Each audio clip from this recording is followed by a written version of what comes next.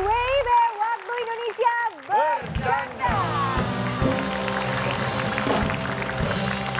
Nah, kalau tadi Cak Lontong sudah menjawab pertanyaan yang dilontarkan oleh Melayu Nicole. Sekarang waktunya pemirsa-pemirsa yang ada di studio. Mungkin dari tadi udah gatal banget pengen nanya. Kira-kira apa ya solusi dari pertanyaan-pertanyanya? Langsung saja siapa yang mau bertanya? Saya. Oh, Silakan. Ajo. Tapi samping ini lagi nih. agak sedih nih, Cak. Jadi saya tuh Gak baru... apa-apa yang sedih banget juga gak apa-apa. Nggak apa ya. Jadi saya tuh baru putus sama pacar saya. Wah ini mah gembira. Saya sedih, Cak. Saya sedih. Hah? Saya sedih. Tapi kita gembira Mantan mendengarnya. saya ya. gembira gitu. Saya yang sedih. Iya, iya, iya. Saya baru putus nih udah 40 hari. Terus, Mas? Nah terus eh, yang bikin susah tuh karena saya dulu waktu pacaran ke mana-mana tuh berdua. Hmm. Ke mall berdua, supermarket berdua. Terakhir saya foto KTP berdua sama dia pak.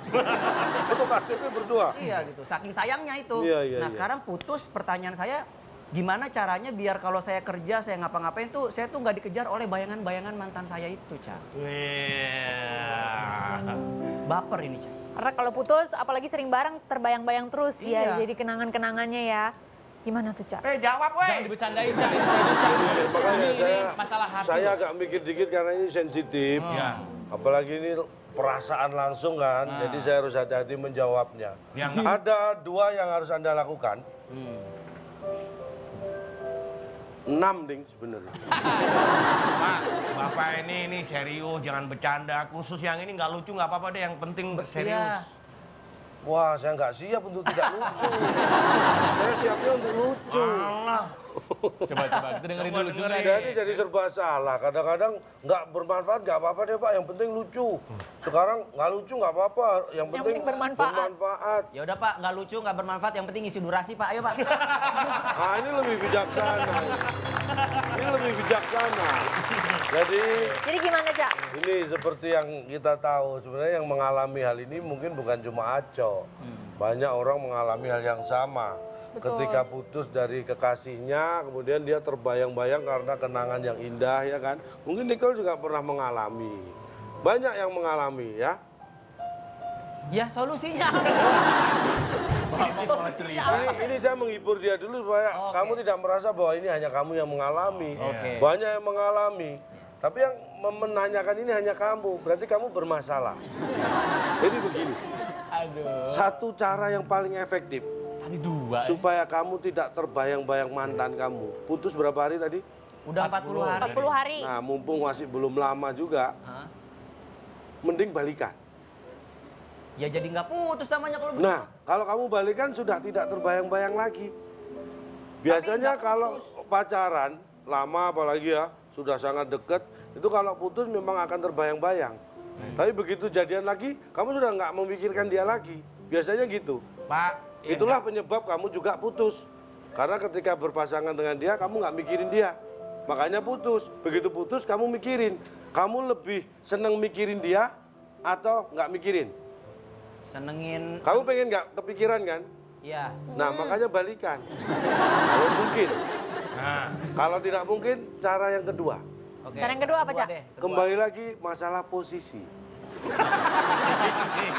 Ini nih. Kenapa jadi posisi? Gimana sih, Cak? Gimana, Pak? Gimana, Pak? Karena Gimana, Ini susah gimana, nih.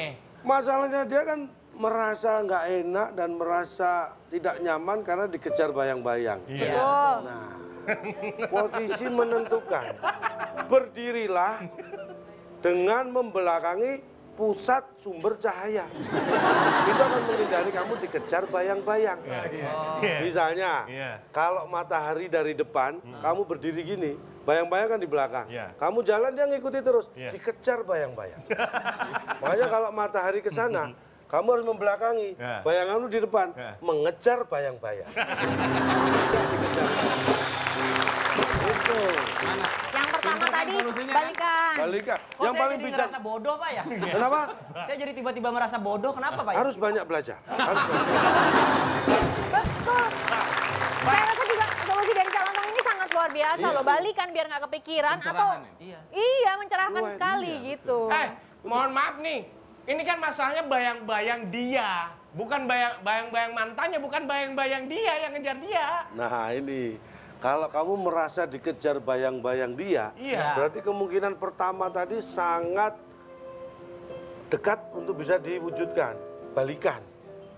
Karena Loh, Kalau kamu merasa dikejar bayang-bayang dia, Iya. berarti dia sebenarnya di belakangmu juga. Ikuti kamu. Pengen balikan itu. Iya. Iya. Saya setuju. Gimana? Iya kan?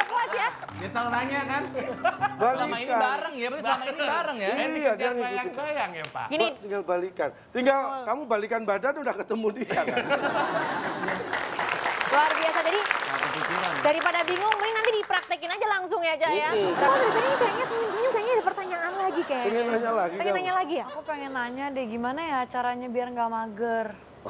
Kalau aku mager banget kadang-kadang. ini cari ini ini menurut saya carilah ini masalah posisi lagi Posisi lagi. Bapak boleh pakai posisi tadi. ah. curang. Jangan pakai posisi jawabannya. Pak, jangan sampai Bapak ngomong cari perumahan yang one gate system. ya. saya mau ngomong itu Itu Ayo, klaster, Pak. ayo. Jadi gimana, Cak? sebenarnya gini gini Melak- melakukan sesuatu supaya kamu contohnya bagaimana caranya supaya saya tidak mager Mager. Ya. seperti tadi mager itu adalah males gerak harus dilakukan hal yang berlawanan males lawan katanya Rajin. Rajin. rajin gerak lawan katanya Iya. Nah, kamu harus rajin diem. Jadi supaya Nicole nggak mager, harus rajin diam gitu ya, Mm-mm. Cak? Supaya kamu nggak males gerak harus rajin diem. Karena gini, tidak jangan diartikan kalau diem itu berarti nggak melakukan apa-apa. Ini salah. Diem, hah? Ya dia memang nggak melakukan apa-apa kan dia. itu yang saya maksud salah. Diem itu bukan berarti tidak melakukan apa-apa. Bisa saja kamu pergi keluar rumah malam-malam, diem-diem. Diem-diem. Beda arti, Cak. Beda. Diem makanya. sama diem-diem langsung beda artinya. Diem. Diem-diem nyolong juga ada, Pak. Nah, itu artinya melakukan aktivitas diem-diem. Diem itu kalau sendiri diem itu diem. Tapi kalau udah dua kata diem diem, Diem-diem. itu nggak nggak diem. Nggak diem. Kalau mengendap-endap cenderung. Makanya harus rajin. Kalau nggak kalau nggak rajin kan satu. Kalau rajin kan bisa jadi dua. Nah. Jadi kalau rajin diam kan bisa jadi diem-diem. Nah, kalau diem-diem berarti dia sebenarnya tidak diam. Nah. Melakukan sesuatu yang tidak diketahui orang. Iya iya iya. Diam-diam. Oke, gimana? Kan Ada- lihat aja kok bingung gitu. Iya. Sama. Tadi pertanyaan dari Aco, dari Nicole udah dijawab. Ada yang mau bertanya lagi? Saya, Silakan. Wah, ini. saya suka sama perempuan. Cantik. Segala yang saya inginkan di perempuan ada di dia. Ya. Masalahnya, dia sudah punya suami. Hmm. Dan masalahnya juga, saya sudah punya istri. Hmm. Tapi saya baper sama dia. Dan ketika bersama dia, saya mager. Saya pengen bareng, tapi nggak boleh. It's a forbidden love. Ya. Bagaimana, Cak? Dua yang harus Anda sadari ya. Jadi memang Anda, untung sebenarnya Anda sudah menyadari bahwa itu forbidden love. It's forbidden love. Karena dia sudah berpasangan, Anda juga. Ya. Memang kalau bisa itu harus dihilangkan perasaan itu. Itu yang pertama. Itu yang kalau bisa dilakukannya. Kalau kedua, berat menghilangkan perasaan itu. Coba cara yang kedua. Aduh, posisi jangan-jangan nih. Enggak, enggak, enggak ada, enggak ada kaitannya posisi ini. Iya, Bapak. Oh, saya kreatif bukan cuma posisi. Alah, ketiga segmen posisi mulu. Tapi kan beda-beda ininya konteksnya. Posisinya.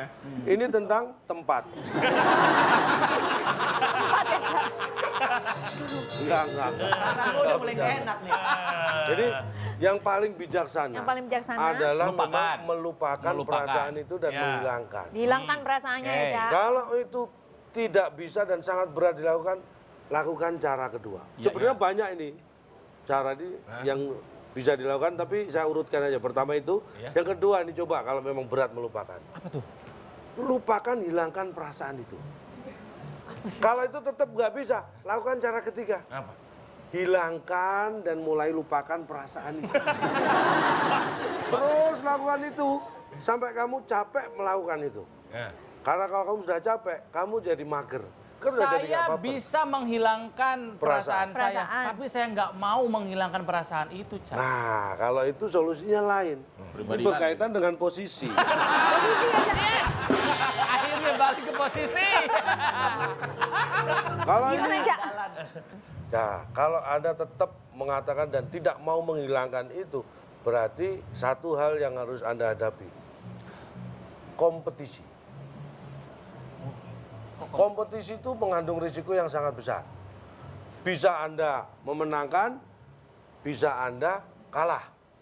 Tapi menang atau kalah dalam kompetisi seperti ini, ada yang dirugikan. Anda sudah siap dengan itu atau tidak?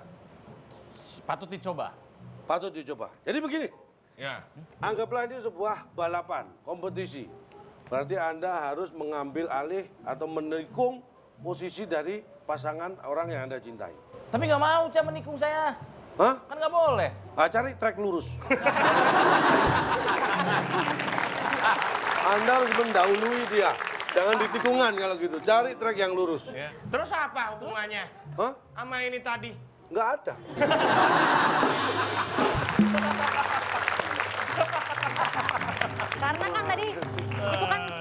forbidden love, masing-masing udah punya pasangan. Jadi kalau memang tidak bisa menghilangkan perasaan, ya udah sekalian aja maju gitu ya. Cak, kita japri aja nanti japri. Ya, Japri aja anak gaul, apa sih japri. Japri Ya apa? nggak tahu japri apa. Yang sering dikasih bedak itu loh.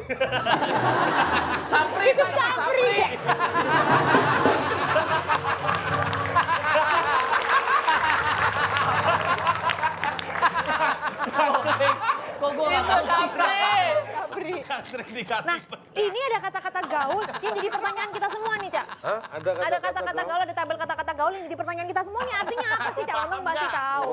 Coba kita lihat. An, an, eh? Nah, ini bahasa-bahasa gaul sekarang, Cak. Yang kita tuh bingung ini artinya sebenarnya apa sih? Ini kalau nggak anak gaul nggak ngerti. Bu ini sebenarnya untuk mengajak orang lah. Tuh, yuk. Jadi Yuk, oh artinya yuk dibalik gitu ya, Cak ya? Ya. Kayak ini sob sob. Gitu. So, nih apa nih? Palbis. Palbis. Kalau soal ngeles calon tuh udah palbis deh. Iya. Itu gimana? Ayo contoh lain. Gimana gimana? Kalau soal ngeles calon tuh udah palbis deh. Nah. Oh iya. Apa? Jagonya deh. Jadi palbis artinya jagonya. palbis apa? Bukan. Apa? Bukan. Jadi coba apa, Cak? bikin kayak Ronald coba. Coba. Yang udah tadi dia. Saya nggak tong. Calon tong. Kalau soal ngasih solusi, calon dong udah palbis deh. Bisa, bisa. Iya kan? Iya. Apa? Jadi Iya kan? palbis apa artinya? Kalau soal beresin rambut, Pepi palbis dah. Apa yang diberesin? Palanya habis, palbis tuh.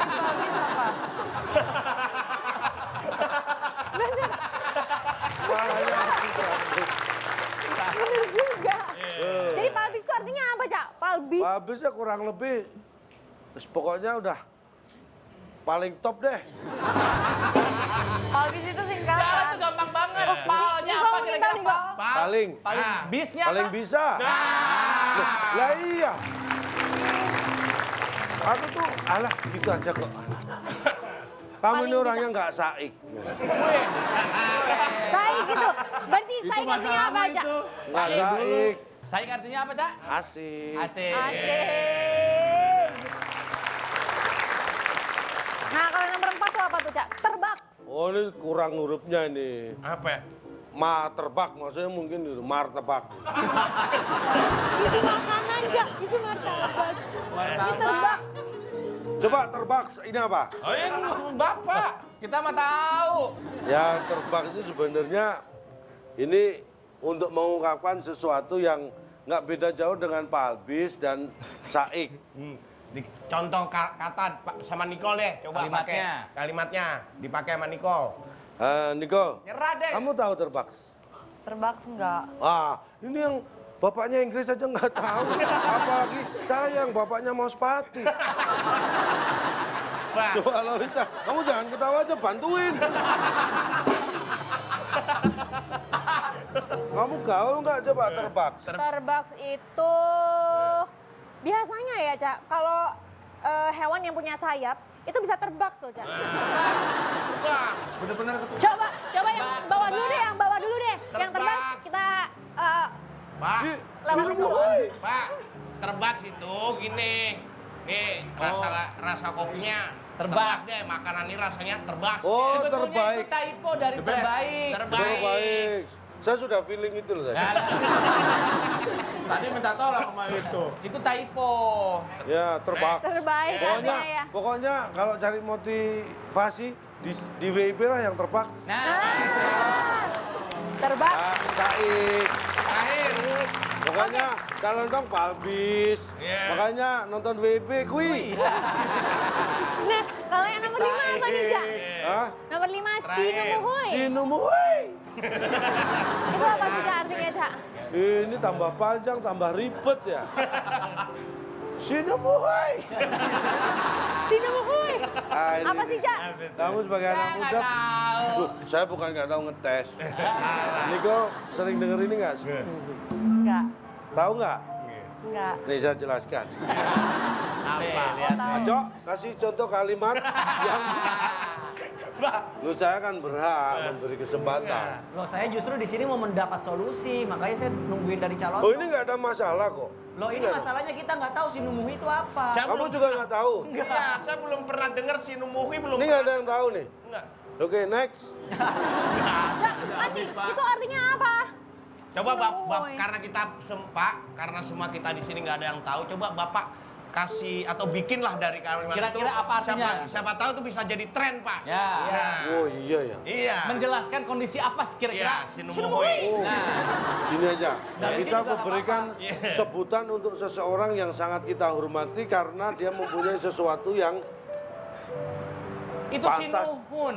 Nah itu diganti dengan sinumuhui. Waduh, Bahaya pak. Kanjeng sinuhun. Bahaya pak. Kanjeng sinuhun gitu. Nggak boleh. Nggak boleh pak. Ini Bill Gates belum tentu tahu loh. Bill Gates belum tentu Iya. tahu. Bagaimana nggak tahu kalau sinuhoi itu tentang sesuatu yang tidak penting, Cak? Iya. Heeh. Ah, dari tadi nih, Jadi-. Wah, jadi kalau nggak penting tuh nganggap gitu. Ah. Jadi apa yang anda pertanyakan tentang sinumuhui itu sinumuhui. Nggak penting. Sinumuhui. Buat Ah, apa? ya. Jadi mulai sekarang kalau kita ngomong nggak penting nih, Sinumuhui. Sinumuhui. Gitu ya, Cak? Sinumuhui. Sia-sia gitu ya. Ah. Sia-sia Sesuatu gitu yang ya. tidak ada Tidak ada artinya, tidak ada manfaatnya. Sinumuhui. Sinumuhui. Termasuk calotok. Ya. Jadi udah paham ya semua ini bahasa-bahasa gaul ini artinya apa udah ya? Oke, kalau tadi kita udah ngebahas ya, sebelum kita ngebahas bahasa gaul ada baper, ada mager, ada pertanyaan-pertanyaan juga yang udah Hmm. dijawab oleh Cak Lontong. Jadi kesimpulannya apa nih Cak dari tema kita hari ini? Ya, begini ya. Sekarang banyak bahasa yang berasal dari sebuah, sebuah kondisi yang dialami oleh kita. Seperti baper karena kita bawa perasaan. Mager karena kita males gerak. Sinumuhui karena itu tidak ada artinya, nggak penting. Sinumuhui. Ya. ya. Ini bagi ada yang suka baper, ini yang perlu saya ingatkan. Baper itu kan apa yang terjadi kita masukkan ke dalam hati, perasaan, ya kan? Sehingga itu mempengaruhi perasaan dan cara berpikir kita. Makanya jangan masukkan yang telah Anda perbuat ke dalam hati. Tapi masukkanlah semua yang Anda alami ke dalam hati. Karena ingat, pada dasarnya hati kita memerlukan bahan-bahan alami, bukan buatan. Ya.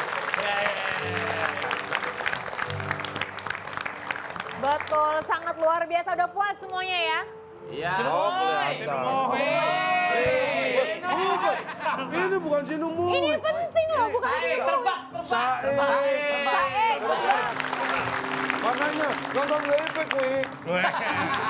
Oke, Niko, Niko udah puas gimana? Puas ya. Solusi-solusi dari Cak Lontong udah puas ya? Bilang, pokoknya calon tong palpis deh.